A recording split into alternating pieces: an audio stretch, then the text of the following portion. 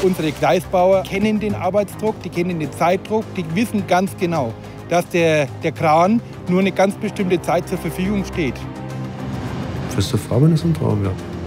Durch den Tunnel fahren ja Züge mit 250 und da ruckelt so gut wie gar nichts. Man ist dabei beim längsten Tunnel der Welt.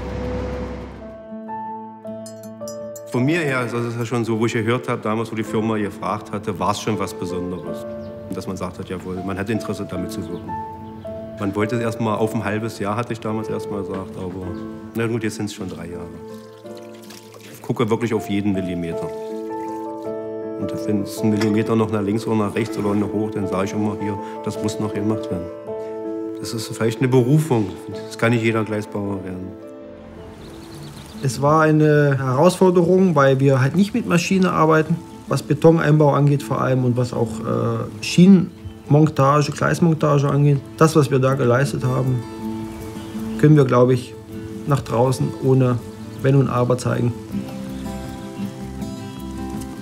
Der Gotthard selber ist ja mit einer der größten Eisenbahnbaustellen der Zeit. Und man ist stolz darauf, dass man als, als junger Mann, als junger Ingenieur, als junger Mensch hier mit bei sein durfte.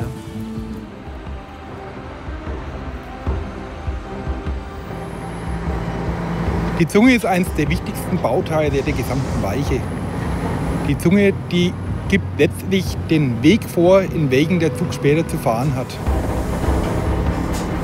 ist natürlich eine, eine, besondere Herausforderung, sich dem zu stellen, ähm, wenn man da drinnen steht und man sieht ein 27 Meter langes Teil, was 30 Tonnen wiegt. Ähm, es ist schon, ist schon, ist schon gefährlich. Also da, da sollte man nicht mit einer Blindheit rangehen, sondern sich der Gefahr auf jeden Fall bewusst sein.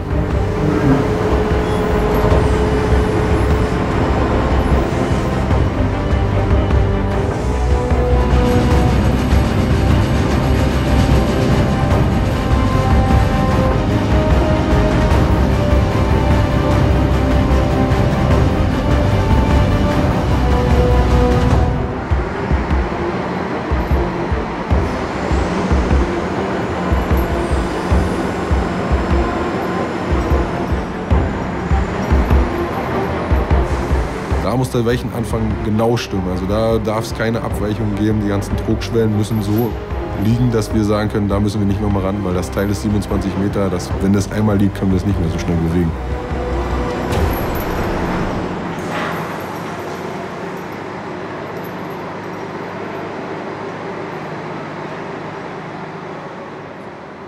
Deswegen sind wir auch dann immer wieder, sag ich mal, wenn die Weiche liegt, wenn der Vermesser es eingemessen hat, er sagt, jawohl, passt alles, dass wir sagen, gut, dann fällt immer erst mal ein Stein vom Herzen.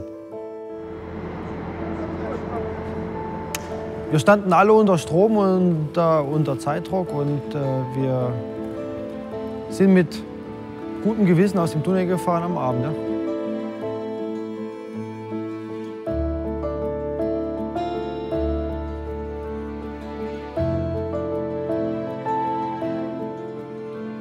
Zu schaffen, sagen wir nie.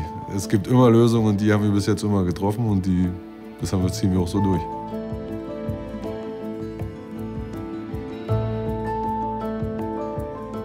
Ich würde sagen, wir sind zusammen auf einen Tanker. Also das ist jetzt, wir sind zusammen in einem Boot und wir versuchen die Sache auch zusammen zu meistern. Ich habe selten so eine Baustelle erlebt, die was wie ein Schlüchen läuft. Also wie diese Baustelle sind wir erfolgreich für das Unternehmen, dann sind wir erfolgreich für den Bauherrn, dann sind wir erfolgreich für dieses Projekt. Und ich wünsche allen unseren Mitarbeitern, dass sie am Ende des Tages, am Ende des Projektes gesund und munter nach Hause kommen und stolz sein können auf die Arbeit, die sie hier gemacht haben.